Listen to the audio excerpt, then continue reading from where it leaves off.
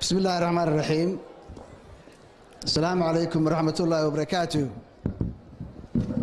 madaxweynaha dowladda federaalk ee soomaaliya mudane maxamed cabdulaahi maxamed farmaajo. Guddoomiyaha aqalka sare ee dowladda federaalk ee soomaaliya mudane cabdixaashi cabdulaahi guddoomiye ku-xigeenka baarlamaanka mahad cabdilla cawad. Madaxweynaha dowladda puntland mudane saciid cabdulaahi deni madaxweyne ku-xigeenka puntland mudane axmed cilmi cusmaan karaash. Madaxweynayaashii hore ee soomaaliya mudanayaal xasan sheekh maxamuud iyo mudane shariif sheekh axmed. Madaxweynaha jubbaland mudane axmed maxamed islaan. Madaxweynaha galmudug axmed ducaali geelle xaaf. Madaxweynaha hirshabeelle mudane maxamed cabdi waare. Madaxweynaha dowladda koonfur galbeed ee soomaaliya mudane cabdicasiis maxamed xasan laftagareen. Guddoonka baarlamaanka puntland xildhibaanada labada aqal ee soomaaliya iyo puntland golayaasha wasiirada safirada beesha caalamka marti sharafta kale ee tirada badan ee caawa xafladdan ka soo qeyb gashay mar labaad ayaa idinku salaamaya. Salaanta islaamka asalamu calaykum raxmatullahi wabarakaatu mudanayaal iyo marwooyin waxaan allah uga mahad celinayaa doorashadii puntland ee inagu qabsoontay si nabad ah xalaal ah xor ah. Doorashooyinka oo ka soo bilowday xuliddii iyo tartankii beelaha dhexdooda ay ku soo xusheen ciddii ku matali lahayd xubintii baarlamaanka ee puntland kadibna aan dooranay guddoonka baarlamaanka aynu ugu dambeysay doorashadii madaxweynaha iyo madaxweyne ku-xigeenka. Waxaan leeyahay hambalyo madaxweyne siciid cabdulaahi deni madaxweynaha cusub ee shanta sane soo socotay ee puntland sidoo kale waxaan hambalyo leeyahay madaxweyne ku-xigeenka puntland mudane axmed cilmi cusmaan karaash oo ah oday aan runtii muddo soo wada shaqaynay iyo guddoonka cusub ee baarlamaanka ee puntland waxaan idiin rajeynayaa guul iyo horumar howlaha masiiriga ee laydiin igmaday. Haddii aan idinla kaftamo anigu ma noqon doono madaxweyne kursiga idinkula fadhiista balse waxaan noqonayaa oday soomaaliyeed oo ka tala bixiya wixii dalka iyo dadka danwa. Mudanayaal iyo marwooyin anigu caawa waxaan leeyahay tala soo jeedin iyo tilmaan bixin. Madaxweynaha la doortay ayaa leh kelmadda madasha ee caawa. Mudanayaal iyo marwooyin shantii sane la soo dhaafay waxaan soo marnay marxalado kala duwan heer puntland heer dowlad goboleedyo iyo heer qaranba.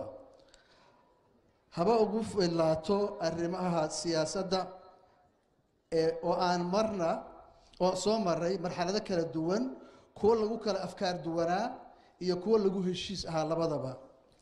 Maadaama dalkeennu ku jiro marxalad isa soo taraysa waxaa habboon oo danta guud ku jirtaa wadatashi iyo tala wadaag arrimaha masiiriga.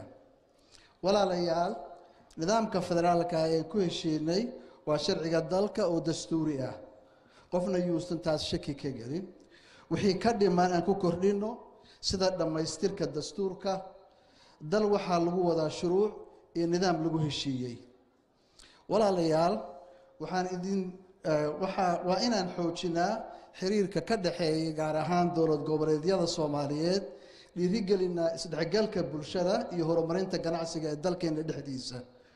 Waxaa tusaale wanaagsan ah sida puntland iyo galmudug oo ah walaalkay axmed ducaali geel halkan uu ka xusay ay ugu soo uga soo kabanayaan dhexdooda gaara khilaafkii hore uguna bedesheen amni iyo walaaltinimo. Dowlad goboleedyada waxaa laga rabaa si mug leh oo dhammaystiran inay ula shaqeeyaan dowladda federaalka iyadoo mar walba la dhowrayo wixii lagu heshiiyey. Caawa waxaa halkan fadhiya madaxdii soomaaliya oo dhan heer federaal iyo heer gobolba. Siyaasiyiintii inta badan waxgaradkii soomaaliyeed. Inteenna halkan fadhida ayaa ku matalaya guud ahaan dadweynaha soomaaliyeed nooca dalka iyo siyaasadda aan doonayno waxaan joognaa meeshii la ohan jiray cidno uma maqna ceello uma qodna. Fursaddan caawa aan haysanno aan uga faa'iidaysanno. Wada hadal iyo heshiis dhab ah oo ku salaysan iscafis iyo wada shaqayn soomaaliyeed ee dhinac walba ah siyaasad dhaqaale iyo amniba ugu dambayn waxaan u mahad celinayaa saaxiibadii halwadeennadii golayaashii heer wasiir iyo heer baarlamaan dhaqankii waxgaradkii reer puntland ee aan soo wada shaqaynay iyo saaxiibadaydii heer soomaaliyeedba. Waxaan rajaynayaa puntland iyo soomaaliya oo horumar dhinac kastaba ah gaara. Annagu wixii aan qaban karnay ee horumar iyo dibudhis dalka ah waan qabanay si hagar la'aana. Wixii aan noo qabsoomin dowladnimadu waa la kabiyo maalin maalinba mid dusha laga saarayo. Waxaan u rajaynayaa dowladda cusub inay halkaas ka sii wado labalaabtana horumarka dalka iyo dadka. Waxaan shacabka reer puntland ugu baaqayaa inay taageero buuxda oo leh af iyo adinba ay la garab istaagaan dowladdooda cusub kana daayaan wixii ku keeni kara xagaldaacin maamulka iyo madaxda cusub. Guul puntland guul soomaaliya. Soomaaliya ha noolaato waa mahadsantiin